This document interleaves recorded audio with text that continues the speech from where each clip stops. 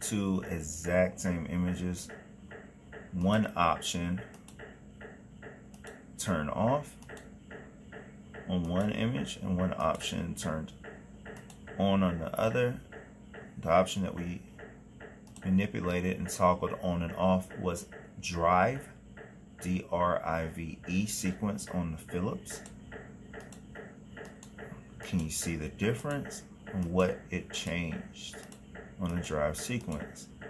Now the time was about three seconds difference.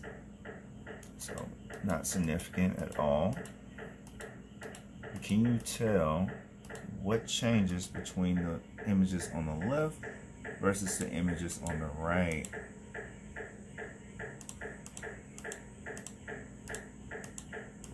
To tell you the main difference is going to be the cord, the brightness of the cord.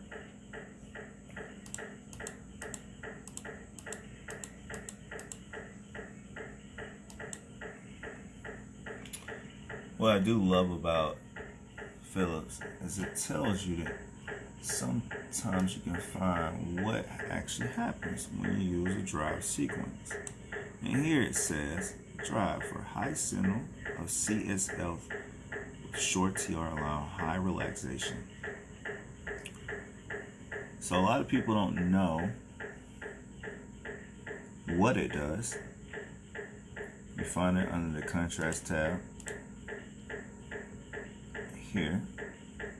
Yes or no? Simple as that. A lot of people don't know what it is, what it does. They just know it's on and off. They do not know how it affects the pictures. And that's the reason for this video is to show them. As you can see, this is a drive sequence, bright. This is not. And that is the difference. Now granted, you could run this sequence, increase the TE weighting, and therefore get a higher signal here in the core to make it bright. But what we're trying to see is the fat and fluid not be the exact same intensity. Here they look about the same. Here you see a difference. And if we wanted this to be even more intensity, we would take this TE of 120 and go up or and TR to go up. But this is at this TR and this TE that you're getting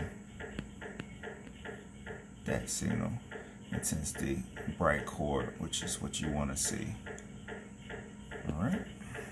And that is the drive sequence